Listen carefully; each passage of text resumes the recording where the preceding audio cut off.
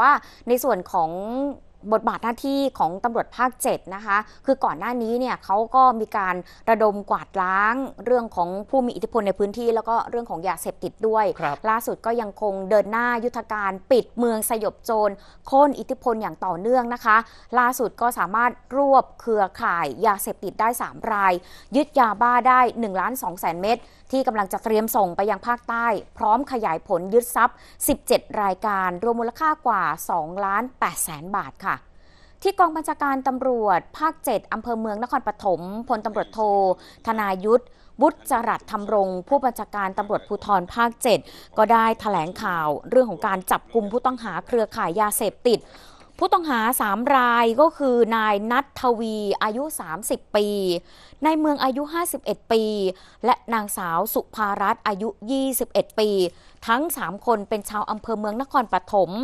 ให้ในข้อหาร่วมกันมียาเสพติดให้โทษประเภทหนึ่งก็คือยาบ้า ไว้ในครอบครองเพื่อจำหน่าย พร้อมกับของกลางยาบ้าจำนวน1ล้าน2แสนเม็ดค่ะ รถยนต์กระบะ2คัน โทรศัพท์มือถือ 4 เครื่อง รวมทั้งขยายผลตรวจยึดทรัพย์สิน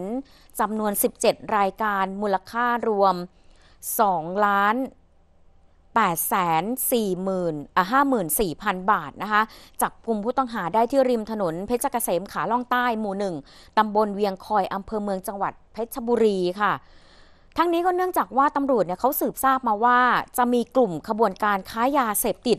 ลำเลียงขนส่งยาเสพติดมาจากภาคกลาง เพื่อส่งลงไปยังบริเวณพื้นที่ภาคใต้ ผ่านถนนเพชรเกษม โดยใช้ยานพาหนะเป็นรถยนต์กระบะสองคัน มีแผงข้างเพื่อตบตาเจ้าหน้าที่ตำรวจ โดยมีรถกระบะขับนำหนึ่งคัน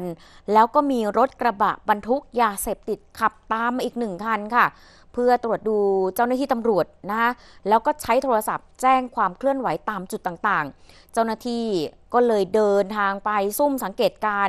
แล้วก็พบรถต้องสงสัยจริง ๆ ก็เลยเข้าสกัดตรวจค้นพบผู้ต้องหาทั้ง 3 ราย พร้อมของกลางยาบ้า1ล้าน2แสนเม็ด จับกลุ่มตัวทั้ง 3 คนพร้อมกับของกลางทั้งหมดนำส่งพนักงานสอบสวนสพเมืองเพชรบุรี เพื่อดำเนินคดีตามกฎหมายต่อไป กระบะสองคันนี้นะคะที่ใช้ขนส่งยาบ้า กรณีนี้ถือว่าเป็นการปูพรมในส่วนของการระดมกวาดล้างอาชญากรรม ภายใต้แผนยุทธการปิดเมืองสยบโจรโค่นอิทธิพล ในส่วนป้องกันปราบปรามยาเสพติดของภาค 7 เบื้องต้นผู้ต้องหาทั้ง 3 คน ให้การรับสารภาพว่า ทำมาแล้วหลายครั้ง แล้วก็รู้เส้นทางเป็นอย่างดี มีการตรวจสอบว่าจุดไหน